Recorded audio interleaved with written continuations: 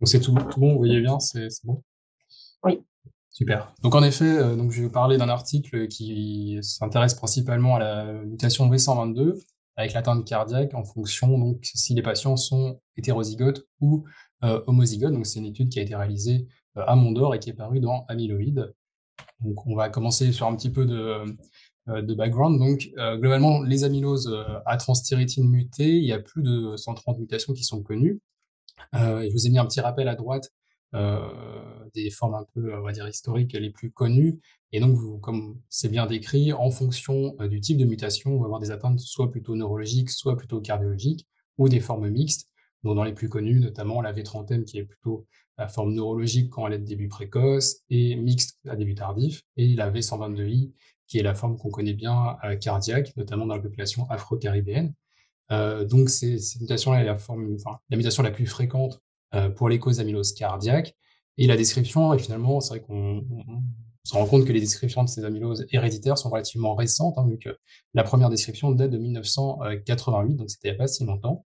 Une autre donnée qui est importante et qui est, euh, qu'on connaît bien aussi, c'est que la forme hétérozygote euh, est présente chez 3,5% de la population afro-américaine, et d'autant plus euh, dans la population africaine, c'est plutôt la, la population donc, euh, de l'Est-Afrique. Euh, et donc, euh, la forme homozygote, euh, elle, par contre, est beaucoup plus rare. Et en tout cas, dans ce qui est décrit dans la littérature, c'est, vous voyez, 2 pour euh, 10 000 euh, patients afro-américains. On est quand même sur une, prévalence qui est beaucoup moindre.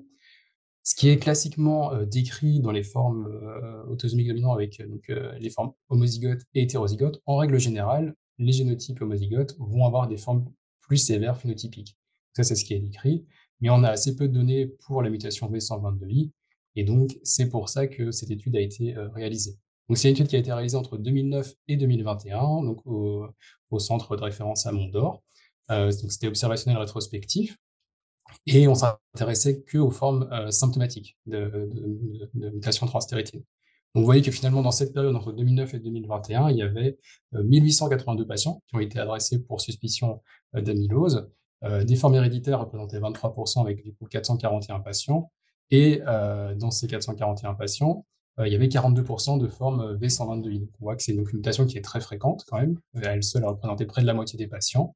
Et enfin, entre homozygote et hétérozygote, on avait à peu près euh, 90% de formes hétérozygotes et 10% de formes homozygotes. Ce qui est intéressant aussi à, signaler, euh, c'est que finalement, on voyait que, euh, c'est ce qu'on voit, hein, on a ces, les formes cardiaques et puis d'autant plus, du coup, les formes mutées sont de plus en plus fréquentes. Et vous voyez que finalement, même dans les, les quatre dernières années, on a pratiquement le double de patients euh, par rapport aux années précédentes, et c'est le cas aussi pour les formes homozygotes on a encore plus que le double. Donc, vous voyez, c'est ce qu'on observe. On a des pistes de plus en plus d'amylose, et donc forcément, on trouve de plus en plus d'amylose héréditaire. Et euh, à terme, on trouvera peut-être aussi de plus en plus d'amylose avec des formes homozygotes. Pour ce qui est euh, de l'étude, la définition de l'atteinte cardiaque était soit donc des dépôts euh, d'amylose sur les biopsies, soit des atteintes électrophysiologiques, donc principalement à l'électrocardiogramme, soit des anomalies échocardiographiques. Et l'endpoint principal, donc c'était les MACE, qui était donc principalement le décès, du coup, transplantation cardiaque ou hospitalisation pour insuffisance cardiaque aiguë. Donc, les données euh, initiales de la population, on est euh, donc sur une population qui est principalement euh, présente d'hommes, 70% d'hommes, hein, donc ça reste aussi même dans les formes héréditaires, on a une nette prédisposition masculine. Et dans les autres points qui étaient intéressants, les populations étaient assez semblables. Un autre point qui était intéressant, je trouvais, c'était que finalement, on avait près de 20% qui n'avaient pas d'origine afro-caribéenne. C'est vrai qu'on dit souvent que cette mutation touche principalement la population africaine, mais vous voyez que c'est pas toujours le cas. Et, euh, donc, il ne faut pas se limiter évidemment à rechercher des formes génétiques, quelles qu'elles soient, ou d'entre plus celles-ci, euh, sur les populations africaines. Euh, on avait quand même beaucoup, finalement, d'homozygotes, hein, 13%. On est quand même pratiquement à 17 à 19 fois plus euh, de prévalence que dans ce qui était décrit dans la, dans la littérature. Et après, par ailleurs, on avait beaucoup de canaux carpiens et des atteintes digestives qui étaient un peu plus présentes sur les formes homozygotes, on en parlera un petit peu après. En règle générale, il n'y avait pas de différence en termes d'atteinte cardiaque ou extracardiaque, que ce soit dans la population hétérozygote ou homozygote. Euh, un autre point que je trouvais intéressant, c'était sur le score de pérugénie. Euh, vous voyez que finalement, on avait quand même 18% de patients qui n'avaient pas un score de périgénie classifiant, donc qui n'était pas 2 ou 3. Donc on sait que notamment les mutations V30M tardifs peuvent avoir des scores de périgénie qui ne sont pas, pas positifs. Et pour les V122, ça peut aussi être le cas. Pour ce qui est de la gravité classifiée par le score NAC, finalement, les patients étaient relativement du même niveau de gravité, mais on peut notifier que c'était des patients qui étaient plus jeunes, et que les patients étaient finalement euh, plutôt autour des 67 ans dans les formes homozygotes et 76 ans dans les formes hétérozygotes, mais qu'au niveau de leur gravité, ils étaient similaires. Donc ça, c'est un point aussi important. On en reparlera après. Pour ce qui est euh, donc des atteintes cardiaques et extracardiaques, comme je vous disais, l'atteinte cardiaque, pas de différence. Hein, on tombe à peu près sur les mêmes atteintes. La seule chose qui varie, c'est finalement le début de la maladie, avec un début en général 8 à 10 ans plus tôt. Et pour ce qui est des atteintes extracardiaques, pas de grosse différence, du coup aussi, comme je, je décrivais, à part ces atteintes gastro-intestinales qui semblent être un peu plus, euh, enfin, en tout cas plus marquées euh, dans les formes du coup homozygotes. Et là aussi, dans l'atteinte extracardiaque, un début de 10 ans avant euh, pour l'atteinte homozygote. Pour ce qui est des événements cardiovasculaires, on a un follow-up qui était en, moyenne de, enfin, médian de 10 mois. Et sur, du coup, les 185 patients qui étaient présents, on avait 167 patients qui ont eu un événement cardiovasculaire. Il y a eu 75 euh, décès, euh, dont 3 dans le groupe euh, homozygote et 72 dans le groupe hétérozygote, mais comme on, on signalait, c'était une population qui était aussi plus âgée. néanmoins, du coup, l'âge médian pour les décès et transplantations cardiaques était similaire dans les deux groupes. le taux de survie sans événement, c'est ce qu'on voit ici après, vous avez les courbes de survie, donc soit initialement la première courbe A euh, donc pour euh, l'événement donc sans euh, mort, transplantation cardiaque ou assistance circulatoire. là n'était du coup pas de différence significative. Par contre, dès qu'on implémentait notamment avec l'insuffisance cardiaque, enfin hospitalisation pour insuffisance cardiaque aiguë, on voit que ça devient significatif. Et donc la dernière courbe, c'est celle qui représente uniquement les hospitalisations pour insuffisance cardiaque aiguë. Et donc là, on voit qu'il y a une nette différence significative entre la population homozygote et hétérozygote. Pour ce qui est donc de la discussion de cette étude, finalement, c'est la première étude qui va nous décrire bah, ces patients et ces différentiels de patients entre hétérozygotes et homozygotes avec mutation V122I, euh, que ce soit au niveau clinique, biologique et échographique, et aussi au niveau des données euh, pronostiques. On a, donc, cette étude a montré que ces patients avaient les mêmes tableaux, hein, qui étaient similaires au niveau clinique, biologique et échographique, mais avec un début euh, plutôt, en général, plutôt vers 60 ans pour les formes homozygotes et 70 ans pour les formes hétérozygotes et avec un risque donc ratio de développer une atteinte cardiaque qui était 19 à 17 à 19 fois plus importante. Autre point qui était intéressant, de façon générale pour les formes B122i, il y avait une grande proportion de canaux carpiens qui était quand même de 73%, donc c'est vrai qu'on dit souvent que la B122i se rapproche assez au niveau du tableau clinique euh, des formes euh, euh, sauvages, et c'est vrai que c'est ce qu'on voit là, finalement c'est des hommes, 70% avec des canaux carpiens, donc notamment dans une population d'origine africaine qui aurait ces signaux d'alerte avec une hypertrophie, très nettement, il faut penser à l'amylose et s'orienter là-dessus. Euh, la seule différence euh, qui avait aussi qui était notifiée entre les populations hétérozygotes et homozygotes, c'était euh, le DFG. Mais finalement, le DFG était probablement lié, en tout cas c'est ce qui est décrit dans l'article, au fait que la population hétérozygote était plus âgée, en général de 9 ans plus âgée, et donc probablement que c'est ça qui expliquait cette différence significative, certes, mais en tout cas pas non plus très importante de DFG. Les limites de cette étude, bon, c'est une étude qui est rétrospective avec tout ce que ça peut entraîner, qui était monocentrique sur un centre de référence là aussi, donc un centre expert, donc c'est forcément sur extrapolable euh, enfin, ce qu'on voit en, pratique courante.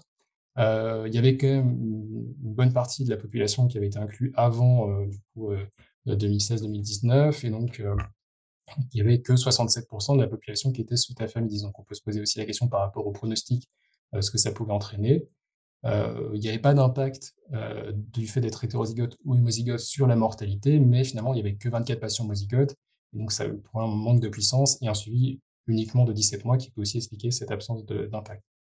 Il y avait un petit biais euh, par rapport au, à l'endpoint de transplantation cardiaque, parce que, évidemment, les patients hétérozygotes étaient plus âgés, donc avec une moyenne à 76 ans, et évidemment, c'est des patients qu'on ne va pas orienter vers une transplantation cardiaque. Donc en conclusion, euh, les mutations homozygote V122I, ça reste rare, mais c'est de plus en plus fréquent, d'autant plus qu'on les dépiste de plus en plus.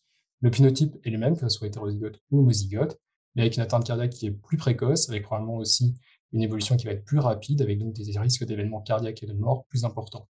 c'est important de bien rechercher les canaux carpiens chez ces populations, notamment dans le cadre du diagnostic présymptomatique, et on pourra en reparler après, et aussi l'importance des biomarqueurs troponine BNP pour screener chez ces patients, dans, toujours dans le cadre du diagnostic présymptomatique. En termes d'ouverture, on peut se poser la question de l'intérêt, de l'impact des nouvelles thérapies, euh, notamment des ARN inhibiteurs, sur ces populations mutées homozygotes qui évoluent donc plus rapidement. Je vous remercie de votre attention et donc je suis disponible pour les questions. Merci euh, Antoine pour euh, cet article très intéressant. Euh, moi, j'avais deux petites questions. juste la première, c'est pour les ceux qui ne fixaient pas la scintille. Le diagnostic a été évoqué sur une, enfin établi sur une biopsie myocardique du coup, sur la C'est ce qu'il disait pour l'atteinte du coup cardiaque. C'est c'est ce qui est un peu rapporté. Donc en effet, c'est-à-dire que c'était sur des biopsies myocardiques prouvées du coup d'atteinte cardiaque. Tout à fait. Et en gros, ma question, c'est est-ce que finalement, pour ces patients, il ne faudrait pas envisager des scintilles euh, osseuses un peu plus rapprochées que pour euh, la forme classique mutée des scintilles qui sont faites tous les trois ans? euh, Ou est-ce qu'on peut penser que finalement, avec une élévation des biomarqueurs, on arrivera au diagnostic il faut. c'est ce qu'il disait, c'est que le canal carpien, c'est un signe classique et donc il précède facilement de 10 ans l'atteinte cardiaque. Peut-être là, j'avais pas, je parlais pas forcément du, de la durée. Est-ce que c'était plus court du coup? Est-ce que le délai entre le canal carpien et l'atteinte cardiaque était plus court sur les formes homozygotes J'avais pas forcément, j'ai pas trouvé l'info. Euh, mais je suis d'accord, je suis d'accord avec toi. Je pense qu'il faut être plus agressif, en tout cas dans notre, dans nos explorations et les répéter plus, plus facilement. Et les biomarqueurs peuvent nous orienter en disant, bah, là peut-être ça commence à évoluer, on va peut-être refaire une scintille plus tôt. Donc euh, peut-être en effet tous les 2-3 ans plutôt que tous les 5 ans dans les formes homozygotes. Euh, il y a une question dans le chat, c'est comment euh, fait-on le diagnostic présymptomatique? Est-ce que euh, c'est la même procédure que pour les, autres mutations? Pour moi, je dirais oui. Alors après, il y a, le professeur Fenello qui est avec nous, donc je pense qu'il pourra d'autant plus répondre à, cette question. Mais pour moi, quand c'est que ce soit hétérozygote ou homozygote, on, on, change pas. Alors, le risque est forcément différent parce que c'est vrai que s'ils sont euh, hétérozygote, bah, il y a 50% de probabilité de transmission, alors que là, on est sur une transmission du coup qui est, qui est de 100%. Euh, donc ça, ça, change un petit peu la, la, donne. Quoi. Et je peux laisser le professeur Fiello répondre à cette question-là, je pense qu'il sera à même. Euh, oui. Ben, je, vais, je vais dire quelques petites choses en plus parce que je suis tout à fait d'accord sur la base. La, en fait, euh, effectivement, quand, une, quand un parent est homozygote, là, il va se poser la question de l'information euh, aux enfants concernés, puisque, a priori, sauf accident, euh, ils ont tous 100% de risque d'être euh, au moins hétérozygotes. donc ça, je dirais, ça se gère assez facilement et, et on peut organiser un diagnostic présymptomatique qui, comme vous savez tous, est un diagnostic qui fait intervenir plusieurs compétences et donc qui doit être mis en œuvre euh, de façon euh, réglementée par l'Agence de la biomédecine et la loi française qui dit qu'il faut que ce soit une équipe pluridisciplinaire euh, qui regroupe des compétences de cardiologie, en l'occurrence de génétique, des psychologues, enfin tout ce qu'il faut pour faire un diagnostic présymptomatique. voilà. Après, je dirais chaque centre met en place quand il euh, fait du diagnostic présymptomatique l'organisation qui lui convient le mieux. La seule chose, les deux choses qui sont importantes, c'est premièrement que les patients doivent avoir la possibilité euh, bah, de réfléchir, de faire un choix euh, argumenté. Euh, ça, c'est la première chose. Euh, et puis, et puis la deuxième, c'est que on est quand même dans le cadre d'un diagnostic présymptomatique qui va avoir des conséquences en termes thérapeutiques, puisque c'est une maladie qu'on peut traiter. Et donc, euh, euh c'est quelque chose qui, euh, ça a des conséquences de faire le choix de, faire le diagnostic. Ça a un intérêt réel pour la personne. Euh, c'est pas juste le fait de savoir, c'est aussi le fait de pouvoir bénéficier d'un traitement ou au contraire de ne pas avoir besoin de surveillance euh, euh si on n'est pas porteur de mutation. Euh, et je vais terminer par un dernier point.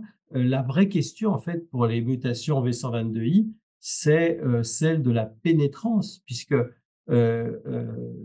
a priori, chez les hétérozygotes, la, pénétrance en fonction de l'âge reste relativement faible, puisque probablement que des atteintes cardiaques symptomatiques à 70 ans, il n'y a pas plus de 5% du total des porteurs qui, qui vont les développer.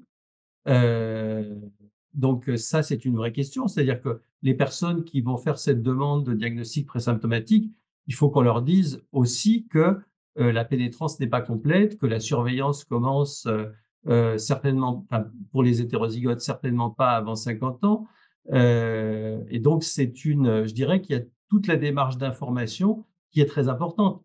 La dernière chose, c'est que ça n'est pas du tout la même chose en fonction des mutations, puisqu'il y a des mutations pour lesquelles on va être beaucoup plus euh, proactif, pour lesquelles le, le, diagnostic présymptomatique peut se faire beaucoup plus tôt, parce que les manifestations peuvent être beaucoup plus précoces. Donc là encore, c'est un leitmotiv que Thibault a déjà répété euh, à d'autres reprises. C'est vraiment dépendant des mutations en réalité. Et donc, il faut connaître les, manifestations et l'âge euh, habituel de début de ces, différentes mutations pour pouvoir avoir une prise en charge euh, appropriée des familles. Et par rapport à ce que je pense que c'est important aussi, c'est la donnée du, du délai légal de, de réflexion. C'est quand on dit un mois, c'est ce que vous faites en pratique, vous faites moins. Il n'y a pas de données légales.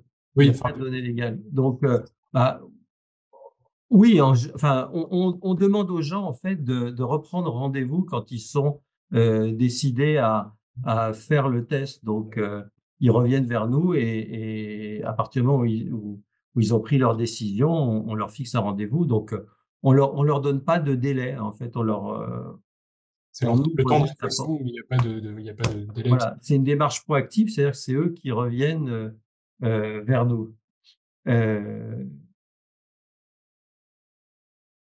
Alors, il y a une question qui est chez les hétérozygotes, la fréquence des patients est moins élevée que les homozygotes.